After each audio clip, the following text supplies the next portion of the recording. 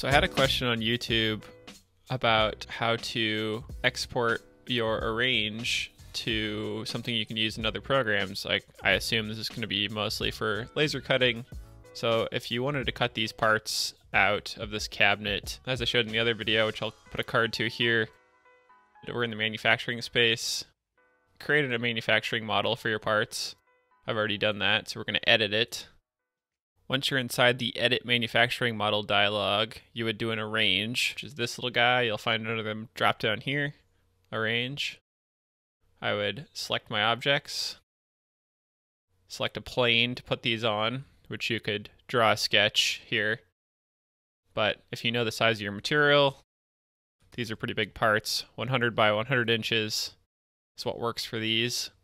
I push OK. I've got my arrange here. So it's nested does as best it can inside that boundary.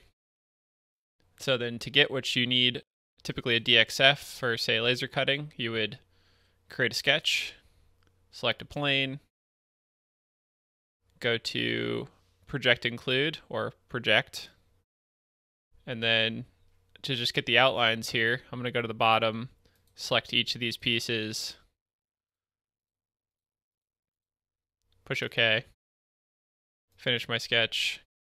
If I turn off all these bodies now, you can see I have the outline, so all those parts nested real nicely. That's right here. We're still in the edit manufacturing model. You right click, save as DXF. And now that's on my desktop here. And that's pretty much it. So that gives you exactly what you need if you're trying to laser cut this object or you need it to be in another program for some reason. Real quick, if you found any of our videos helpful, I'd love if you'd subscribe and give this video a thumbs up. Did you do it? Alright, back to your Fusion content. Now, if you just wanted to export the 3D model, let's hide this sketch.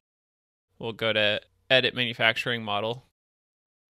And then when we're in here, we should be able to export by just right clicking on inside of here the set of 3D models or this assembly, which has all these things. So if I right click and go to export, I can export these in Fusion file. So I'm just going to export the part that I've arranged.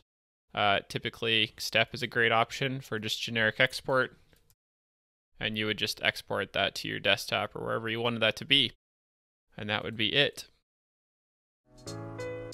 If you've ever thought about learning CNC and CAM, we have a course called Learning the Basics of CNC and CAM that's available now. It centers around uh, learning kind of what you need to know to get started in CNC and CAM.